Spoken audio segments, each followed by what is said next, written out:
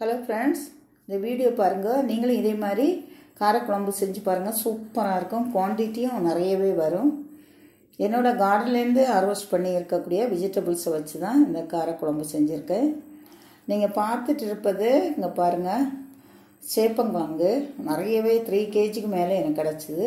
அதில் ஒரு கால் கேஜி அளவுக்கு எடுத்து வாஷ் பண்ணி குக்கரில் வேக வைத்து எடுக்க வேண்டும்.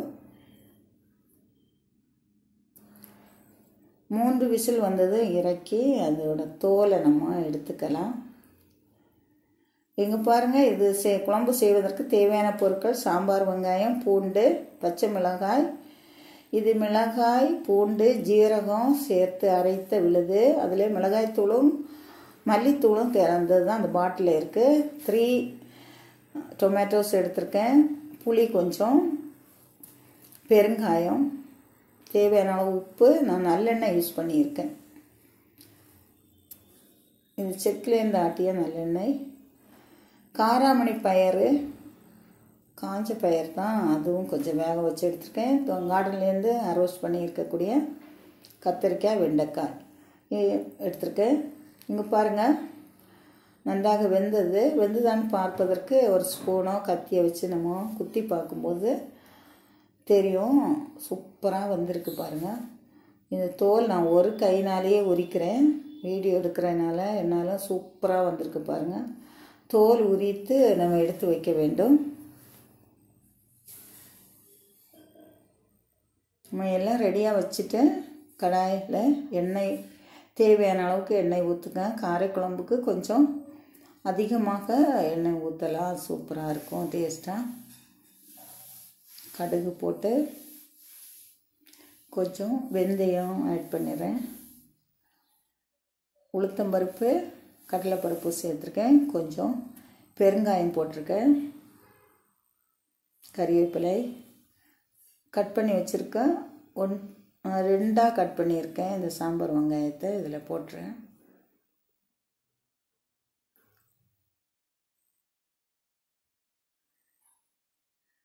பூண்டு பாருங்கள் ஒரு பத்து பல் அளவு. பூண்டு எவ்வளோ சேர்க்குறோமோ சூப்பராக டேஸ்ட்டாக இருக்கும். இந்த பச்சை மிளகாய் நம்ம கார்டன்லேருந்து அறுவடை பண்ணது தான் தக்காளியும் நம்ம கார்டன்லேருந்து அரோஸ்ட் பண்ணி இருக்கக்கூடிய தக்காளி தான் அதையும் கட் பண்ணி போட்டிருக்கேன். தேவைக்கு உப்பு.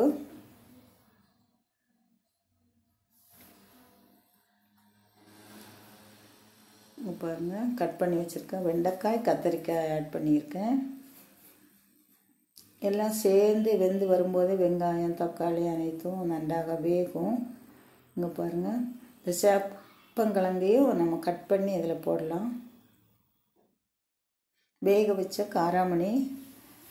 கொஞ்சம் நிறைய வேக வைத்தேன்னா கொஞ்சமாக போட்டுட்டு கொஞ்சம் சுண்டலாக சாப்பிடலாம்.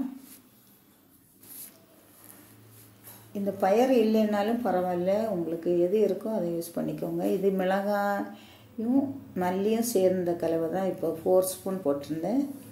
இப்போ இந்த மிளகாய் பூண்டு சீரகம் சேர்த்து அரைத்த விழுதும் இதில் போட்டிருக்கேன். ரெண்டு ஸ்பூன் தேவைக்கு உப்பு போட்டு கிளறி புளி தண்ணீரும் இதில் ஊற்றி நன்றாக கிளறி மூடி வைக்கும்போது சூப் சூப்பரான ஒரு குழம்பு கிடைக்கும். தேவைக்கு தண்ணி ஊற்றலாம் இந்த சேப்பங்கிழங்கு கத்தரிக்காய் வெண்டைக்காய் அனைத்து வெந்து சூப்பராக திக்கான ஒரு கிரேவி மாதிரி நமக்கு கிடைக்கும். இங்கே பாருங்கள் பார்ப்பதற்கு ரொம்ப சூப்பராக இருக்குது ரொம்ப டேஸ்ட்டாக இருக்கும். நிறைய ரைஸ் சாப்பிடலாம். என்னோடய காட்டிலேருந்து அறுவடை பண்ணி இருக்கக்கூடிய இந்த கொத்தமல்லி தலைகளும் இந்த கறிவேப்பிலையும் லாஸ்டில் போட்டு இறக்கி எடுக்கும்போது சூப்பரான சுவையான ஹெல்த்தியான ஆர்கானிக் குழம்பு ரெடி